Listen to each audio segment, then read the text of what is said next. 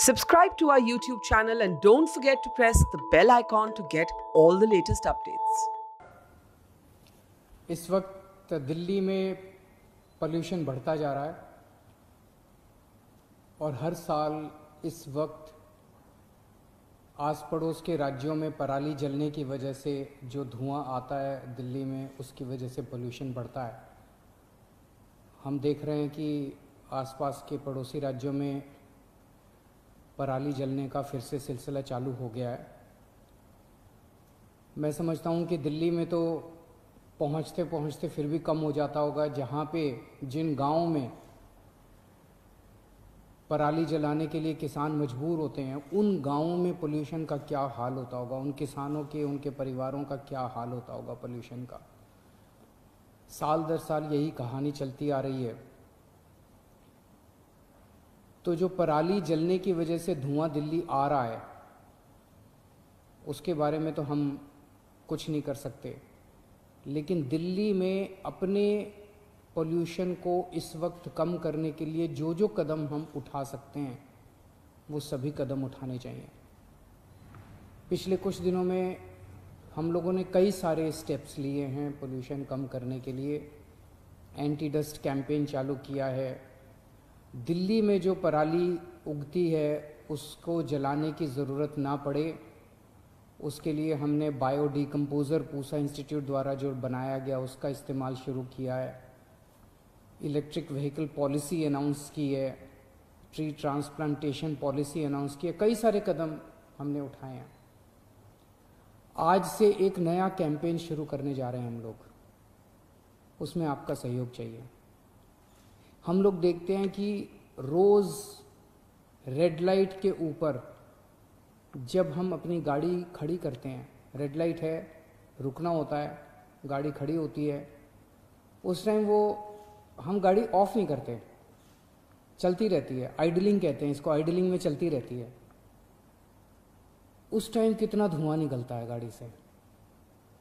और सोचो पूरी दिल्ली में एक करोड़ व्हीकल्स हैं रजिस्टर्ड व्हीकल्स उसमें मान लो जितने भी तीस, चालीस लाख व्हीकल्स भी अगर रोज़ सड़कों पे आते होंगे और वो हर रेड लाइट के ऊपर रुक के धुआँ छोड़ते हैं, कितना पोल्यूशन उससे बनता है।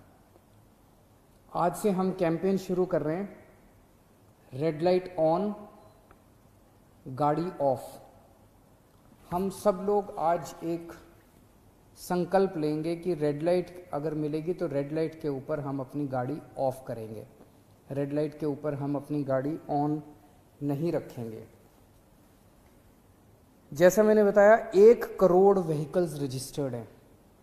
अगर 10 लाख व्हीकल्स भी सड़क के ऊपर रेड लाइट पे अपनी गाड़ी ऑफ़ करना शुरू कर दें तो एक्सपर्ट्स ने मुझे कैलकुलेशन करके दी है कि साल में पी एम टेन पोल्यूशन का वो होता है ना पी एम टेन वो 1.5 टन्स कम हो जाएगा और P M two point five zero point four ton कम हो जाएगा। कितना पोल्यूशन कम हो जाएगा और आपको भी कितना फ़ायदा होगा।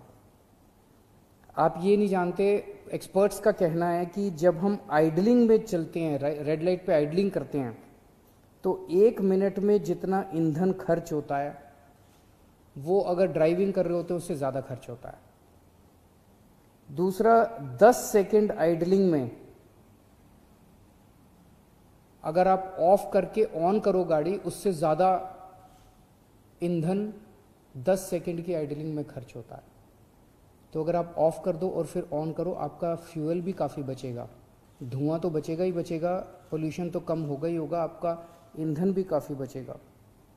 और ऑन एन एवरेज एक गाड़ी रोज़ दफ्तर आने में, जाने में मिला के 15 से 20 मिनट रेड लाइट पे बिताती है। और उस 15 से 20 मिनट में एक गाड़ी लगभग 200 मिलीलीटर तेल की खपत करती है। और अगर आप ये गाड़ी ऑफ़ करना शुरू कर दो तो सात हज़ार रुपये साल के आपके बच सकते हैं। खासकर सर्दियों में इसका ज़्यादा नुकसान है। सर्दियों में क्या होता है कि जो धुआँ है, गर्मियों में धुआँ जो है ऊपर चला जाता है। पोल्यूशन जो है ऊपर चला जाता है। सर्दियों में पोल्यूशन नीचे ही बैठ जाता है, ज़मीन के पास।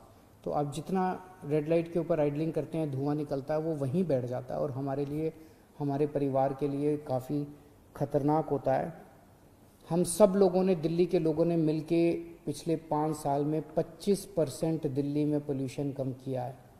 मुझे उम्मीद है कि आप सब लोग पूरे दिल से इस मुहिम में शामिल होंगे।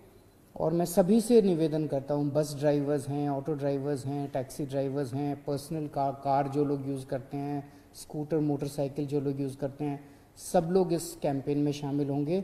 आने वाले दिनों के अंदर मैसिव अवेयरनेस कैंपेन इस बारे में चलाएँगे और हम चाहते हैं कि दिल्ली का हर नागरिक पोल्यूशन कम करने की दिशा में साथ दे। अभी करोना काल है, करोना में वैसे ही लोग बहुत दुखी हैं अगर पोल्यूशन भी बहुत ज़्यादा बढ़ गया तो ये हम सब लोगों के लिए जानलेवा हो सकता है। नमस्कार।